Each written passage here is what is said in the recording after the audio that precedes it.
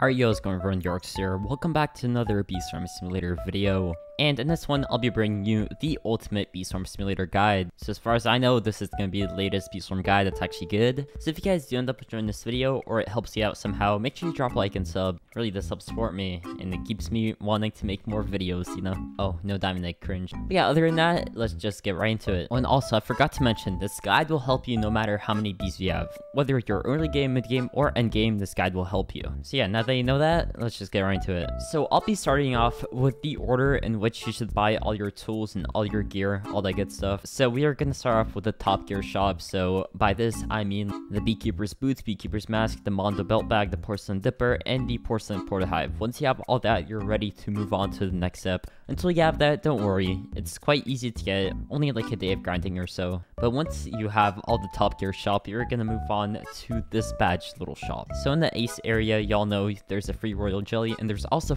and there's also four things you can buy. So you have the Honey Mask, the Cobalt and Crimson Guard, and the Honeycomb Belt. So the first thing you want to buy once you unlock the Ace shop it is the Honey Mask because not only is it handsome and you're going to be the hottest person in the server, who wouldn't want that, but it's also incredibly good. You get your first passive ability, which is the Coin Scatter, 15% B ability rate, capacity, pollen, all that good stuff. Like pretty much anything you want in a rather cheap mask. Probably shouldn't be calling it cheap. For me, it's pretty cheap to get. It might seem like a big investment and like a lot of stuff you're going to have to spend to get it, but trust me, it's worth it. It's one of the best things you can buy in the game for the price. Another thing, this is just a tip for me. So free tips from Yarikz, you already know. A lot of people might tell you to buy the bubble mask, which is right here in the blue HQ. Yeah, so bubble mask costs 500 blueberries, 50 blue extracts, all that other stuff, glitter, oils, and 100 million honey. So it pretty much costs the exact same as the honey mask. Same exact thing with the fire mask. It's just a red version of the honey mask. Yeah, so glue, enzymes. The reason you do not want to buy the two, I tell people all the time, just stick to the honey mask because it is amazing. The reason I tell people to buy the honey mask rather than the bubble and fire mask is because it's just good for any field or any hive color. But for example, if you have a fire mask and you're trying to farm in the blue field, you're gonna have so much trouble like getting pollen, getting honey. I'd recommend just stick to the honey mask. It's simple, it's cheap, and it's gonna last you a long time. And after you buy the honey mask, you might have your eye set on the honeycomb belt, and that would be the right purchase to make because it gives you capacity, 25% capacity, a lot more capacity than the Mondo belt bag from the top shop, colorless speed attack honey from tokens, which is gonna be insane, matching your coin scatter ability. It's just a very good belt. You're gonna have it for a very long time until you get the petal belt, and it's not too expensive. After the honeycomb belt, there are two different sides to this, but I say you get Crimson Cobalt guards. Once more, they're the best guards in the game at the moment, so you're gonna have them forever until Onett stops being lazy and updates the game. Yeah, so not much to explain. Best guards in the game. You can look at all the stuff for yourself. After that, you should go ahead and buy the Petal Wand. The Petal Wand requires a bunch of resources, but most importantly, a Spirit Petal. A Spirit Petal is something you can get from completing 10 Spirit Bear quests, and it is probably the hardest quest line in the game for early and mid game players. Some people might disagree and say you should donate your first Spirit Petal to the Wind Shrine to try and get Windy Bee, but I disagree, because if you donate your first Spirit Petal, you're gonna have so much trouble getting the second one. Meanwhile, if you use the Spirit Petal on the Petal Wand, which is pretty much the best tool in the game, behind the endgame collectors, which are very hard to get, it's just gonna last you a very long time, so I personally use the Petal Wand as Blue Hive, I made 1 quadrillion honey without Tide Popper, so this is a very good tool, I recommend you buy it. Around the same time, maybe before, maybe after you buy the Petal Wand, is the Gummy Mask. The Gummy Mask, it is probably the best mask in the game. Some people might disagree by saying like masks are good for their respective hive colors, but I disagree. Honey Mask, it's good for White Hive. It is the best mask for White Hive, but it's also good for mixed hives, which is something that a lot of mid-game players are. It is very bad to become a specific hive color when you're early or mid-game, and that is because you do not have the Supreme Star Amulet, which I'll get into. But Gummy Mask, it is gonna last you for such a long time if you do decide to buy it. It's very good for honey, it's very good for early and mid-game boosting, and yeah, it's just worth having. Time to flex my Tide Popper. I have two on-game tools. And one day, I'll buy the third Gummy Baller. After the after buying the Gummy Mask, you probably realized you're way too powerful and you're getting too much pollen for your backpack to handle. So that's why you have to kill the Coconut Crab. After you kill the Coconut Crab for yourself, you should get all the loot, obviously. And when you enter the Coconut Cave, you will find yourself two things. The Coconut Clogs and the Coconut Canister. And the Coconut Canister is the thing you're want to buy. It is, at the moment, the best backpack in the game. I'm not sure if you're watching in the future, Onett we'll update the game and add something new. But This is a backpack everyone's been using, the leaderboard pros making 5 quadrillion honey per day, they use the coconut canister, and for the price, it only costs 25 billion honey and not too many resources. Yeah, so for the price, it's not too difficult to get. It might take you a bit of grinding, personally I found the honey the hardest thing to get because all the extracts and the tropical drinks are easy to get by crafting. P.S. don't craft tropical drinks, just kill the coconut crab please. Oh no, all my loot is disappearing. Yeah, very good backpack, you should get it.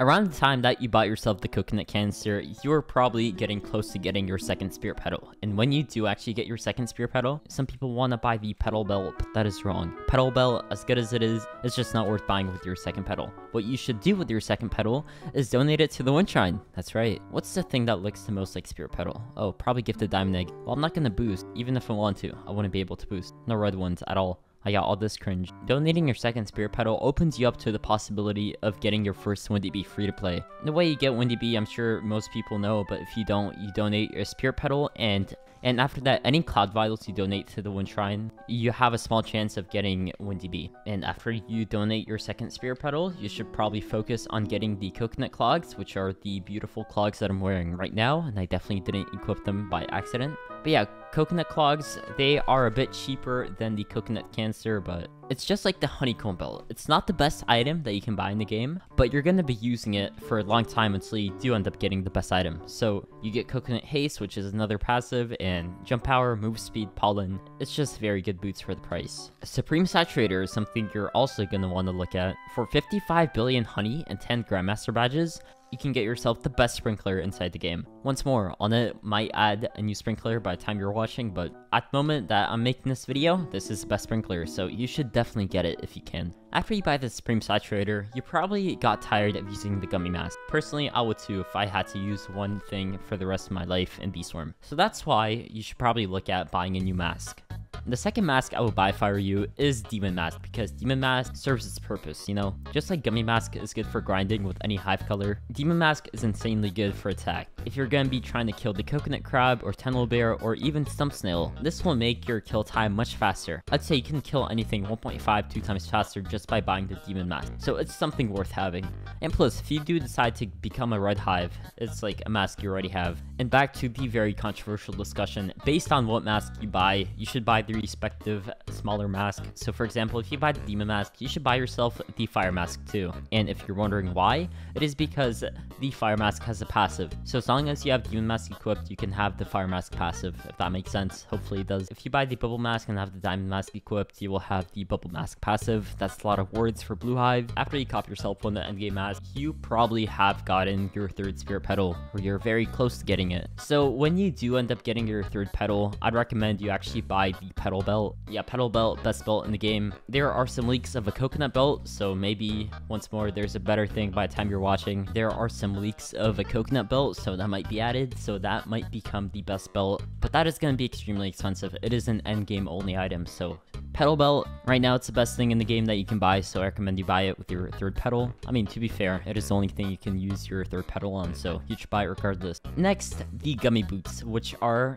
the best boots in the game, and extremely overpowered. Well, not anymore. They were extremely broken like 5 years ago. But even now, they are the best boots in the game. They serve a good purpose for any hive color, so if you want to become an endgame player, you definitely need to own this. You also get a Gootrail passive, which I'll show you what it looks like. This is an extremely cursed setup to have. I have the Tide Popper, the Demon Mask, and the Gummy Boots. So I have one of every half color on me right now. But yeah, this is what the goo trail looks like. You literally just get a trail of goo. It's in the name. But after you get the Gummy Boots, the only things that are left for you to buy are one to three endgame tools. So you have the Tide Popper, the Gummy Baller, and the Dark Scythe. Personally, I was Blue Hive for about seven months when I got myself the Tide Popper, and when I switched to Red Hive, I bought the Dark Scythe. But they are extremely expensive, so make sure you decide what hive color you want to be. You've probably already chosen the hive color way before you get an endgame tool, which is something you should do. Because obviously getting honey as a specific hive color is much easier rather than being a mixed hive forever. So yeah, I recommend the easiest hive color to be is blue because all you gotta do is macro and you make a couple trillion honey per night. However, if you want a mediocre challenge, I'd recommend you go red. And the reason blue is also good is because it does not require an endgame tool to actually make good honey. Unlike with red and white hives, you actually need the gummy baller and the dark scythe to make good honey. So unless you own them, you're gonna be making crappy free honey, so blue is probably the easiest and the cheapest hive color to be. Some more tools I have for you is actually macroing, because as much people like watching Vitamin Delicious and being macro free and free to play, it is extremely hard to actually succeed in Bee Swarm if you don't macro, because it's very hard to keep up with the leaderboard players. But if you do decide not to, or you cannot macro, which is pretty unfortunate, I heard iPad players can use a spoon to like simulate an auto clicker. So hey, any iPad players, just grab a spoon from your kitchen, put it on your iPad screen, and there you go. You have a free auto clicker. Here's my Festive Planter. Let's see what I get from this. If I get a Diamond Egg, y'all gotta subscribe. Hey, I got a Silver Egg. It's close enough. Already know Silver Egg just as good as Diamond Egg. Some more tips I actually have is just playing with friends. If, you want to become endgame at Bee Swarm, it is very boring. It is going to be a lot of grinding, a lot of macroing, a lot of doing absolutely nothing, and a lot of repetition. So a lot of doing the same stuff you've been doing over and over again. So I recommend that you do one of two things. You either play with friends. If you want, you can join the Discord server. You can find some friends there. My Discord server is mostly friendly, for the most part. Or you can just watch YouTube. So if you have another device, like if you're playing on laptop and you have a phone, you can pop Netflix open, watch the top shows. What is the top show today? I don't even know, bro. Is Wednesday still popular?